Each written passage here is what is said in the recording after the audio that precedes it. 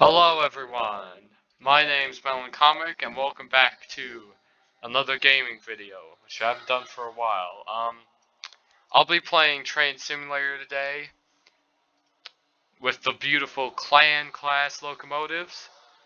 I like these things. The, they do look a bit like 9Fs. Like you could also confuse them for one if it wasn't for like the three large wheels. 9Fs had around um, passengers in yeah, 9Fs had around um a what was it? Like like five driving wheels on each side. Here we go. Love that whistle. But yeah, 9Fs were goods locomotives. These, I believe, were passenger ones.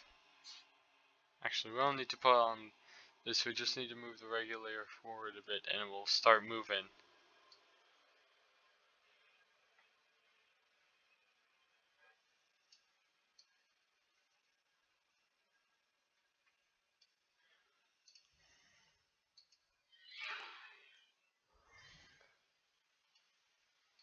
Come on. Fuck.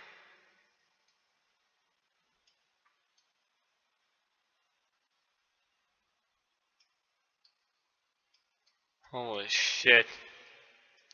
Um, I don't know how this. Come on. I know I can. Ah, here we go. We started here. Right. So yeah. Um, I believe in Train Simulator, this one, the name changes every time you drive it. To all the different clan class locomotives. So we're on Clan Macleod. It's not Macleod. I I don't I don't believe it. But um, yeah. So this was one of the later locomotives built by BR.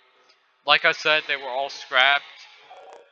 There is plan. There is currently a project to build one, very much like Tornado, which is cool. I if I was to choose like some locomotives I'd like to bring back from extinction, British ones specifically, it would be the E2s and the J50s. The E2s are obvious for, well, I guess you kind of be kind of obvious. But um, I personally like the E2 design a lot. It's one of my favorite tank engine designs. Um, this one, for this route, we're just going to Chet. Maybe not to Chester, that's a little far. Um,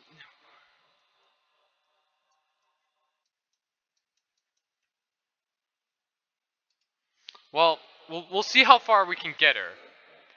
But yeah, I enjoy Train Simulator. I enjoy trains, particularly steam engines.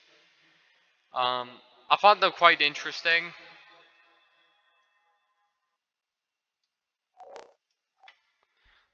Man, they, the, the Clan class had some really nice whistles. They're really beautiful. They're equipped with these safety features, which you have to keep pressing them when they beep. Otherwise, the train's gonna shut down. Yeah. Um, this is a nice game. I like it. I find it kind of relaxing.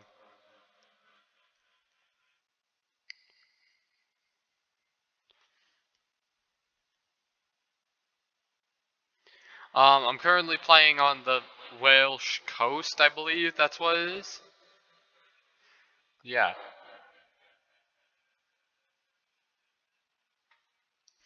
It's a nice loco, locomotive. Um, I'm currently just keeping it on the speed limit. You don't want to go full speed yet. Okay, now we can kind of start picking up a bit of speed. Can we turn off the sander yet? I do love on the model for this, they got these nice rimmed out wheels. I don't know what they say, but they look cool.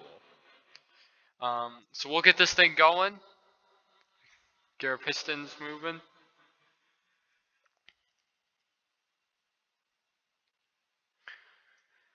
I'll turn on... Where's the blower? Because I know this is in, um, here. There we go.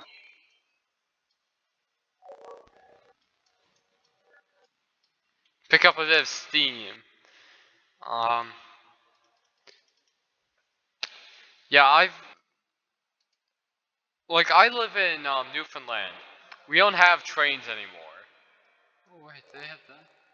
Shit. We don't have trains anymore. The Newfoundland Railway closed in the 1980s. So, um, well before I was born. So every time I've ridden on like a train, it's always been really special to me. Um, I remember my mom would tell me stories that like she'd go out and she'd put like when they'd hear the train whistle, they go out and they put pennies on the tracks, and the train would flan. Um, yeah, there are still a few engines here left in Newfoundland. There's a railway museum out there. Um, there's one. Oh, gotta press the button. Should be good now. Um, I believe these engines were considered rather disappointing. And, yeah, even if they weren't that impressive, I still like them. Now, I just really love their whistle, though. It's like a very nice, deep whistle. Sounds very intimidating. And also they're a clan. I like the nice BR livery. I, I like a lot of BR liveries. BR Blue is one of my favorites, but also BR Black. BR Olive, Olive's also up there. Um, I don't like the Bachmann one though. The BR like Bachmann um, olive livery because it just seems too glossy in my opinion. The stripes are supposed to be red, yet they look kind of brown.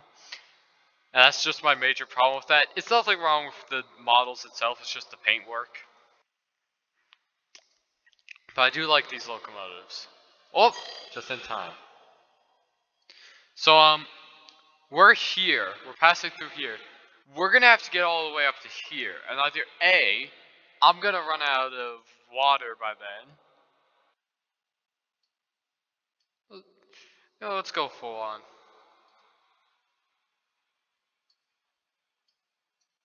Come on. Yeah, I will say it does take a while to reach like a decent speed on this, but that's fine. Come on. Can I get this?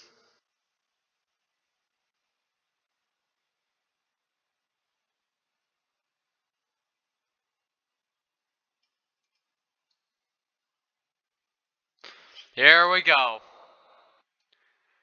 You're up to 30 miles now.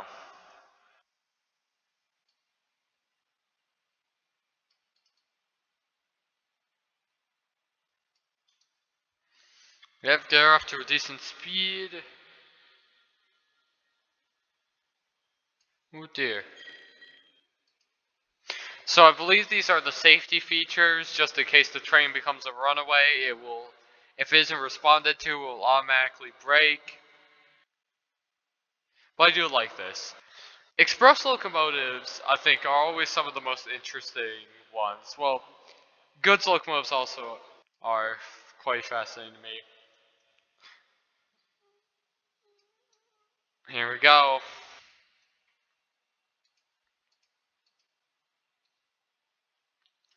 Alright, so we're getting her up to um, 50 miles. I don't know how to open these.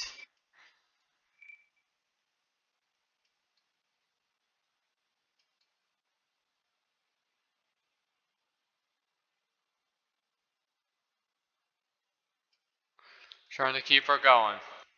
Oh dear. Let's go. Give her some top speed then. Um, I believe like one report that I find kind of interesting about this is that the Clan class, at least it's kind of related to it, the engine Evening Star, the last steam engine built by British Railways, was often seen overtaking the, I mean 9Fs in particular were often seen overtaking these. So it'd be, and yeah, the 9Fs were good at goods engines, though I do believe Evening Star did pull passenger services. Right. Um, we're already halfway on the water. I don't know how long I'll be able to make it, but I think we can get there. I think we can get there. Put her to here, and we'll just go. Actually, we might want to pick up a bit more speed, reaching the hills. Um, of course, most of this video will be heavily edited, you know, da da da. But we'll keep her going.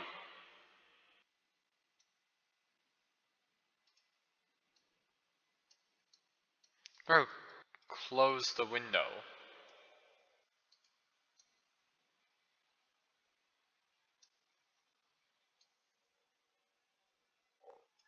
Oh, it's on the side.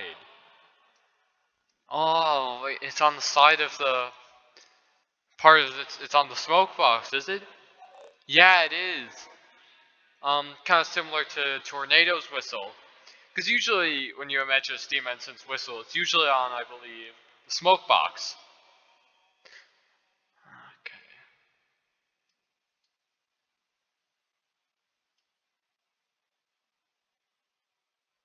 Alright, we're up to 60 now. And, um, and almost, eh, oh dear, we're not making this. At least I don't think so. But if we do run out, well, we'll, we'll make it a decent way. Things thundering down the line. I'm gonna release the brakes.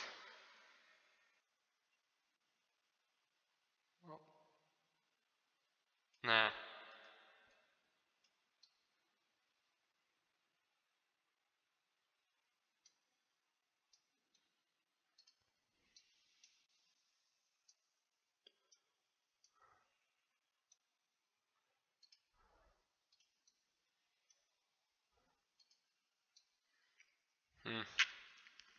Right. I do hope to get a Hornby model of, of these one of these days. I, I quite like Hornby. The problem is I live in Canada. The Hornby models ain't easy to get. I have um, got I have purchased an E2 one off auction. So that will hopefully be arriving soon. I can have one of those. I do hope Hornby eventually re-releases their E2. Um, Perhaps if they wanted to do something different, they could put it in BR Black. Cause like we got one in um, we got one in London LB. We got one in umber in the umber livery color. We got one in Southern Olive, I believe Southern Black. We never got one in um, BR Black, which would be nice to see. You know, maybe do what they did with the Terriers, upgrade the detailing. They do that, but I have spent a bit of money on this. Yeah. Uh, I don't think we're making it there. Where are we? It's all the way up here. I'll, I'll see what happens. Does it just refill automatically or we're just gonna run out? Because that's something that I've kind of been wondering at this point. Come on, where's the where's the green? Where's the green? Here we go.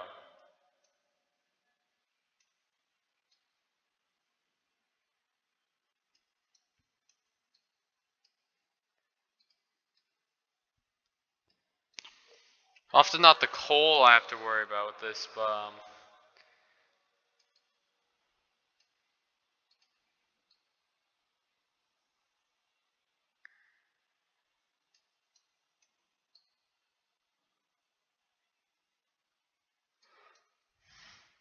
I believe these were called the Elizabethan class.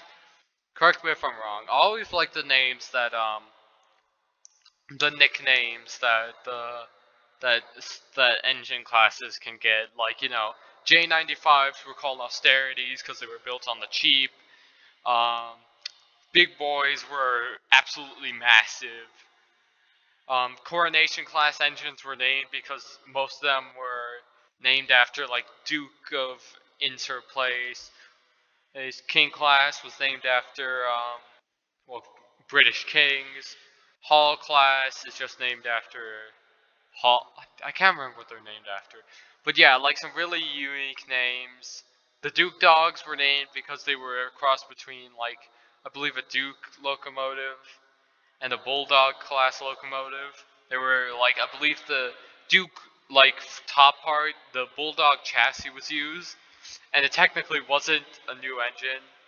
It, it was interesting because I believe the names were made to make fun of the the um, railway director. Ooh. I guess that's it. Um, I do hope you enjoyed this video. I I want to get back into gaming videos because I can find I can just like talk all I want while doing something I enjoy. I'll see you all around. Bye.